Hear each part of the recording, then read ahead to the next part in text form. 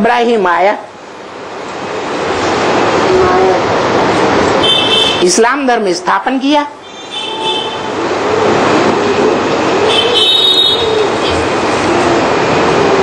इस्लाम धर्म स्थापन करने वाला इब्राहिम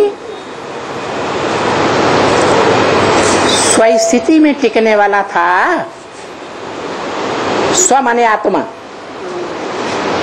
आत्मा माने ज्योति बिंदु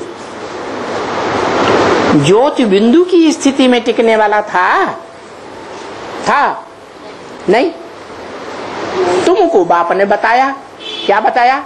स्वधर्मे निधनम से। तुम्हारी जो आत्मा का धर्म है, उसमें टिकना श्रेष्ठ है। इसके अलावा जो भी धारणाओं में टिकने वाले हैं वो उतने श्रेष्ठ नहीं है। कहेंगे नंबरवार भ्रष्ट है। देखो, तुम आत्मिक स्थिति में टिकते हो। तो आत्मिक स्थिति में टिकने वाली आत्माएँ वाइब्रेशन जास्ती मज़बूत मज़बूत बनाएँगी या इंद्रियों की स्थिति में टिकने वाली आत्माएँ जास्ती पावरफुल वाइब्रेशन बनाएँगी। है? आत्मिक स्थिति में स्थित वाले तुम बच्चे, जो लक्ष्मी नारायण के चित्र में दिखाया है। लक्ष्मी नारायण एक दूसरे को ज्ञानेन्द्रियों के द्वारा रस लेते हुए नीचे गिरते हैं या नहीं गिरते हैं? लक्ष्मी नारायण के चित्र में जो ज्ञान के वलय में दिखाए हुए लक्ष्मी नारायण है वो। ज्ञान की रोशनी का वलय जो दिखाया है, उनकी ज्ञान की दुनिया है। इसलिए उनका नाम ही पड़ता है नारायण। नार माने जल, ज्ञान जल। आयन माने घर। कहा रहते हैं? ज्ञानी जल ही उनका घर है। तो जो ज्ञान जल उनका घर है, वो मन बुद्धि के आधार का आधार पर वहाँ रहने वाले हैं या दृष्टि की रचना रहने वाले हैं हा? जो संगम की लक्ष्मी नारायण दिखाए हैं ज्ञान वलय के अंदर, वो आँखों की रचना लेने वाले हैं या मन बुद्धि की रचना लेने वाले हैं हैं? मन बुद्धि की रचना लेने वाले तो वो दुनिया का वातावरण मज़बूत बनाएँगे या इंद्रियों की रचना लेने वाले दुनिया का वातावरण मज़बूत बनाएँगे? कौन मज़बूत बनाएँगे, कौन कमज़ोर बनाएँगे? है? जो मनसा को कंट्रोल करते हैं। बुद्धि को एकाग्र करते हैं। वो दुनिया का वातावरण ऐसा मज़बूत बनाते हैं कि प्रकृति के पाँच जड़ तत्वों को भी सात्विक बना देते हैं। संगम भी लक्ष्मी नारायण, कौन सा सुख ले रहे हैं? ध्यान से देखो उनको। है? मन बुद्धि का सुख इंद्रिय सुख में रमे हुए हैं, या ज्ञान इंद्रियों कर्म इंद्रियों के सुख में रमण कर रहे हैं? है? ज्ञान इंद्रियों के सुख में? आँखें हैं ज्ञान इंद्रियों में सबसे श्रेष्ठ। उन आँखों का रस ले रहे हैं, देखो ध्यान से। है? आँखों का रस नहीं ले रहे तो संगम युग में लगातार उनकी चढ़ती कला रहती है या गिरती कला में भी आते हैं? चढ़ती कला है। सोलह कला संपूर्ण से भी ऊपर की कला। क्योंकि उनका जो बाप है, कौन? है? सूर्यवंशियों का बाप कौन है? है? ज्ञान सूर्य। तो सूर्य कलाओं में बंधा हुआ होता है या कलातीत होता है। हैं? कलातीत कल्याण कल्पांतकारी कहा गया है। माना, वो जब इस सृष्टि पर आता है तो जिस मुकर्र मनुष्य तन में प्रवेश करता है, उसको कैसा बनाता है?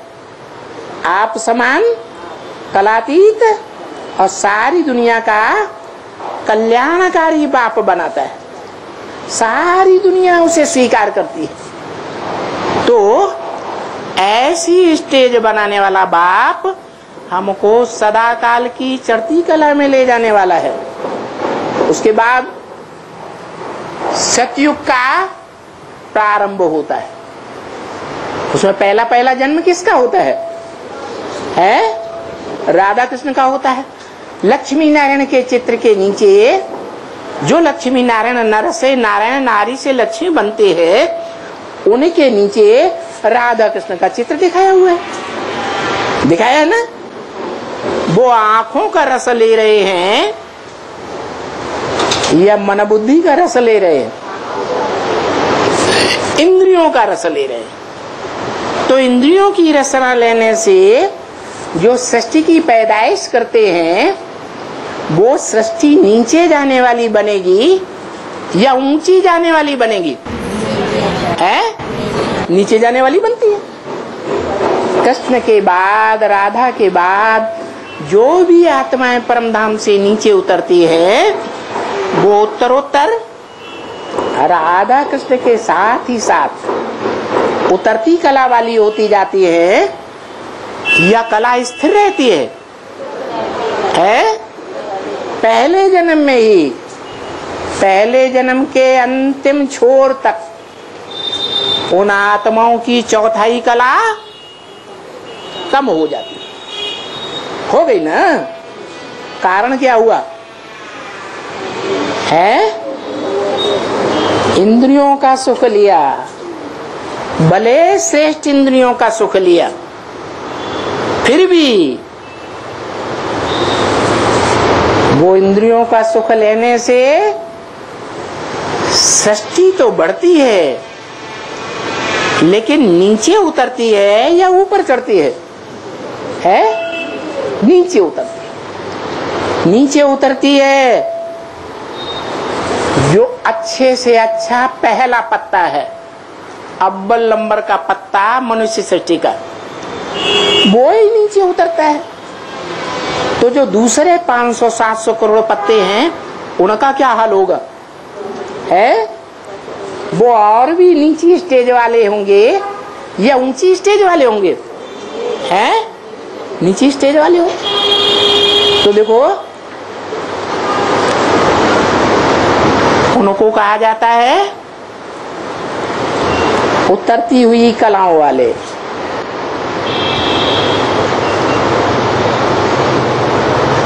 कृष्ण है, पहला नंबर का पत्ता। जो संगम युग में ब्रह्मा का पार्ट बजाता है। ब्रह्मा वाली आत्मा, वो आत्मा अपने पुरुषार्थी जीवन में ऊँची उठती है, विश्व का मालिक बनती है, जो बाप बनाने आया है। बाप कहते हैं, मैं जब आता हूँ तो तुम बच्चों को आप समान बनाकर जाता हूँ। तो बनती है? है? नहीं बनती है। क्यों नहीं बनती? कारण क्या हुआ? है? कारण ये हुआ कि बच्चा बुद्धि कहो, जड़त्वमयी बुद्धि कहो, वो जड़त्वमयी बुद्धि भगवान बाप की मुख से निकली हुई बातों को पकड़ नहीं पाती गहराई से। और तुम बच्चे पकड़ लेते हो? क्या? पकड़ लेते हो।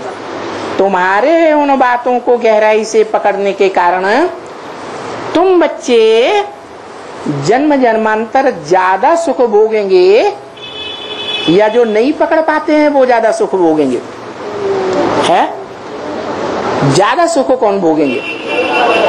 जो पकड़ते हैं, वो ज़्यादा सुख भोगते हैं। और जो नहीं पकड़ते, वो ज़्यादा सुख नहीं भोगेंगे। अच्छा। फिर जो जितना ऊँचा उठता है, वो उतना ही नीचे गिरता है या नहीं गिरता है? हैं? नीचे ज़रूर गिरता है। तो देखो तुम बच्चे अंतिम जन्म में जाकर के नीचे गिरते हो या नहीं गिरते हो?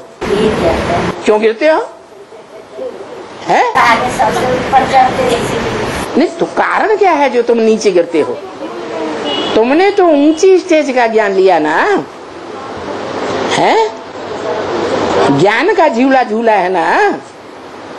तुमने कोई देह का झूला थोड़ा ही झूला? है? ज्ञान के झूले में झूलते हो। अतीन्द्रिय सुख के झूले में झूलते हो। तो तुम नीचे क्यों गिरते हो? है? नहीं। तुम बच्चे एक धर्म के कल्याणकारी रूप में निमित्त बनते हो। या सारी दुनिया के सब धर्मों के फॉलोअर्स के कल्याणकारी के रूप में रहते हो। खासकर संगम युग में। है? एक धर्म के कल्याणकारी बनते हो। एक धर्म वालों को, एक धर्म के फॉलोअर्स को कल्याण की दृष्टि से देखते हो और सबको टेढ़ी नज़र से इनका गड्ढे में चले जाए। हैं? हाँ। तुम्हारी जो ज्ञान की दृष्टि है, वो आत्म की दृष्टि बन जाती है। और आत्मिक दृष्टि बनने के कारण तुम सारी दुनिया को कल्याणकारी दृष्टि से देखते हो, क्योंकि तुम कल्याणकारी बाप के अब्बल नंबर के बच्चे